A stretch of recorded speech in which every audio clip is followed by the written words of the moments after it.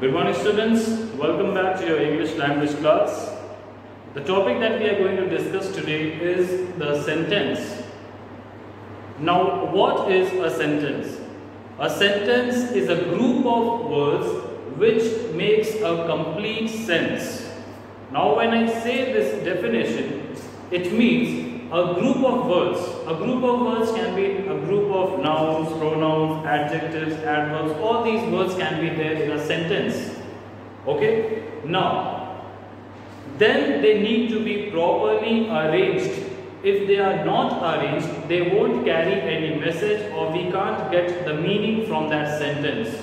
So the second important thing is that it needs to be properly arranged so that when it is written or spoken, people can easily understand the meaning. Now, what are the different types of sentence? There are four different types of sentence that is declarative, assertive, declarative and assertive are counted together. Then we have interrogative sentence, imperative sentence, exclamatory sentence. Now these all types we are going to discuss so, while talking about sentence, always remember it is a group of words which makes a complete sense. Okay? Now we are going to see the different types. The first type is declarative or assertive. Okay, now declarative or assertive. Let's understand what is the meaning of declarative and what is the meaning of assertive. Now declarative simply stands for a statement that declares a fact, an argument or a statement. Okay? Declarative, if we break this word, we will get declare. Now what is declare? Where we declare a statement. A statement that gives us a fact, a statement or an argument. That is known as a declarative statement. Now what is assertive statement? Assertive sentence are those sentences which simply states something. Okay. Now the examples are already written over here and we are going to see that which one is declarative and which one is assertive. Okay. Now tomorrow is a holiday. Now I am declaring here. What am I declaring? That tomorrow is a holiday. This is the fact. That tomorrow will be a holiday. Not today but tomorrow. Next one. Mahatma Gandhi was a great leader. This is also a fact. So it will be a declarative sentence. I live in India. I live in India. Now this is a statement. I live in India. This is also being declared.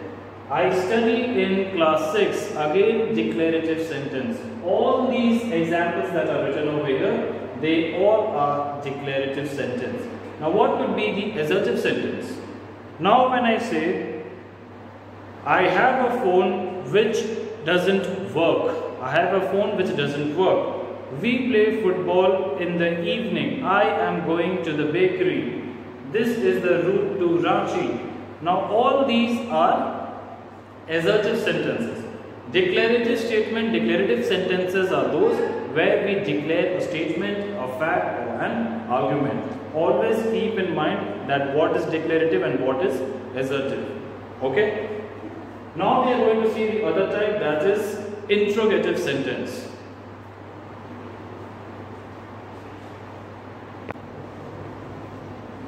Now the next type of sentence is interrogative sentence. Now what does the term interrogative stands for? Interrogative simply stands for that which asks you a question. Now interrogative sentence. Interrogative sentence means a sentence that asks a question. Now what are the things that we have to keep in mind that we have to remember while writing a sentence in interrogative form? The most important thing that we have to take care of is the question mark. Whenever we write an interrogative sentence, we have to remember that we end the sentence with the proper punctuation that is a question mark.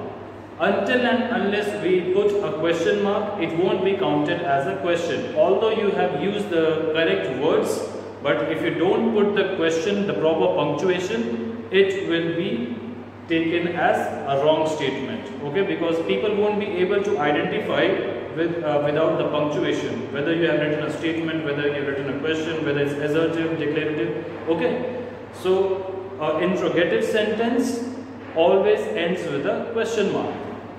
Example how are you? Question mark.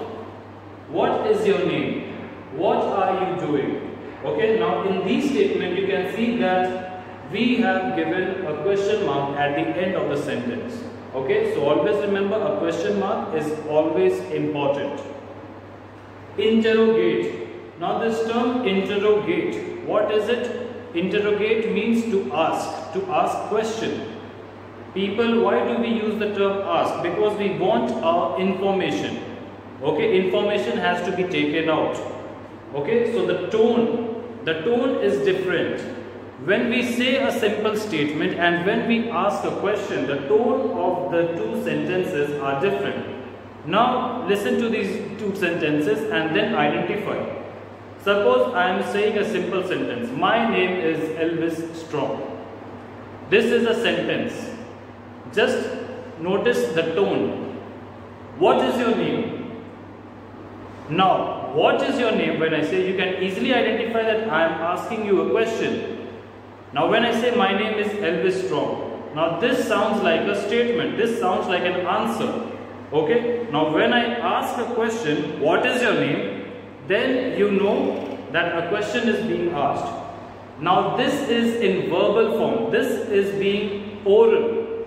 Now when we are writing interrogative question, interrogative sentence, that time we have to be correct because we have to know that what are we writing. So question mark is important. In verbal, we don't say question mark. What is your name? Question mark. Okay? But people understand it with the tone of saying the sentence. Okay? But while in written form, we have to use the proper punctuation. Okay? Now, that is all for today. In the next class, we are going to discuss the other two types that is exclamatory and imperative sentences. Now if you have any doubts regarding these two types of sentence, you can ask me on my WhatsApp or we shall discuss that in our live class. Okay, thank you.